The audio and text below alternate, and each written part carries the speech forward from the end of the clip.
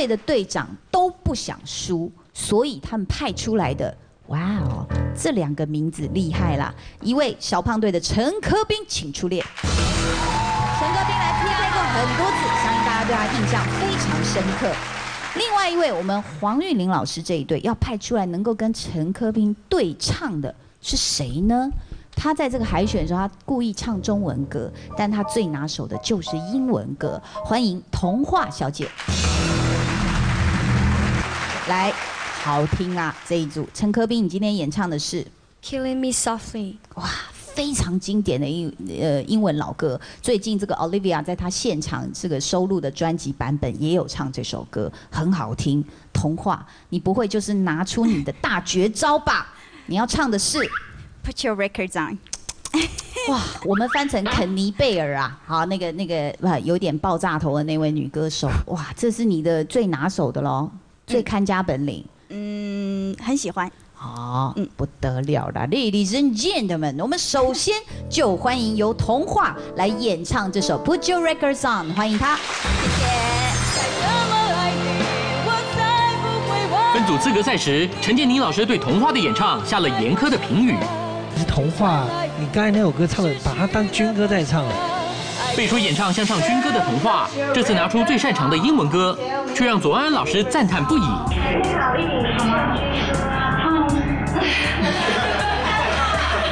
这首英文歌本身我很喜欢，Put Your Records On。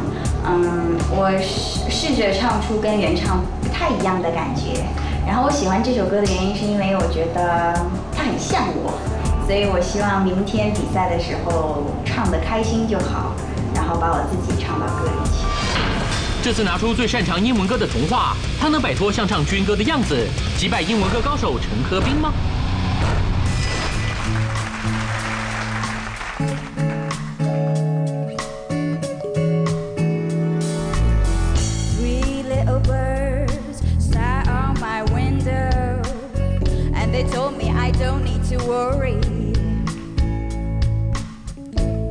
？Summer came like cinema.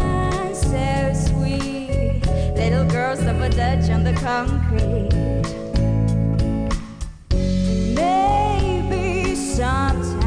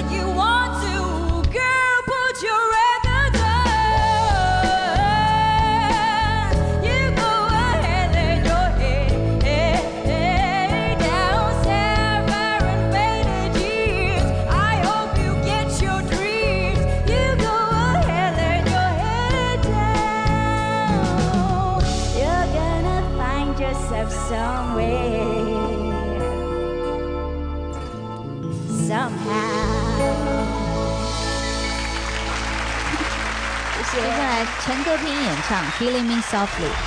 落后六分的小胖队将派出资优生科兵。在彩排时，老师给了这样的建议：要快的部分，我就觉得没有什么不同。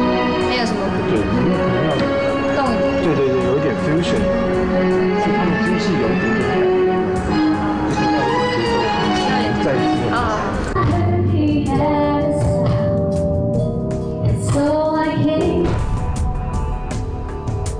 这次有小胖老师在监督我们彩排，我觉得比较安心哎，比起之前的彩排，所以现在放心多了，有信心，一定要有的。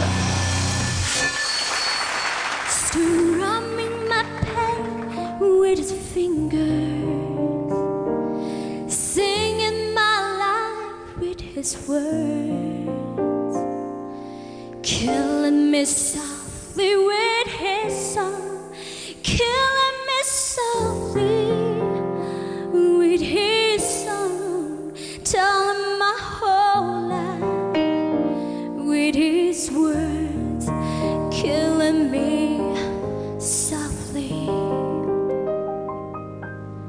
with his song.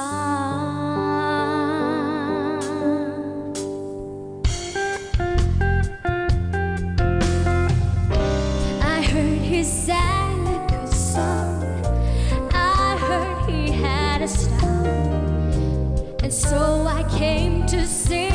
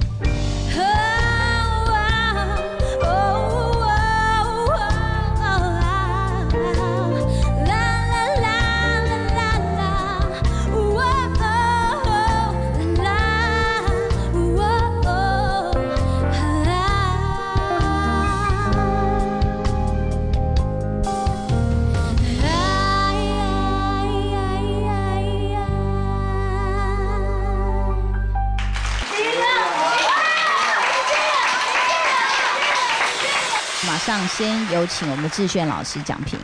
英文歌的诠释上面，在这个领域里面，今天这两首歌，大家都是感觉上是比较比较用力的，很努力的要把这个歌唱出来。可是我觉得都少了一种从容的感觉。我们听起来就是大家很清晰的咬字，然后很明确的表情，但是却没有那种放松的感觉。可是如果真的这中间要分出一个呃胜负的话，我会觉得童话其实你在呃某些地方的语气跟那个歌词这边的结合是比较到位的。马上就先来看看两位啊很能唱的美女的分数啦。童话的分数，请评审按灯。童话的演唱 Put Your Records On 得到的成绩是二十二十一、二十二、二十三、二十四分。哇哦，OK，有四位老师给了五分，那么志炫老师给了四分。接下来是陈科斌的分数，请评审按灯。陈科斌的演唱 Killing Me Softly 得到的分数是二十三。二十三分啊，只差一分。OK，这个其实志炫老师认为两位是平手啦，对不对？那个差距实在太小了，小到我觉得那个一分这样子给我都会觉得好像多了这样。但是其实呢，我本来对两位的期许啊，是达到那个六分的，因为你们两个是有那个实力的，所以其实很好玩。你看多好玩，就是很会唱歌的人，他还有很多空间哦，还有很多可能失误的可能，或是满分的可能。所以两位其实如果真的是这个好好切磋一下，我觉得总冠军看到两位并不难。呃，如果可能的话，接下来还是会挑战一下中文歌。我希望无论是中文歌还是英文歌，我都可以表现得很好。所以我很气自己为什么手会这样子，然后没有把歌唱好，然后这是一首我很喜欢的歌，然后没有办法唱好。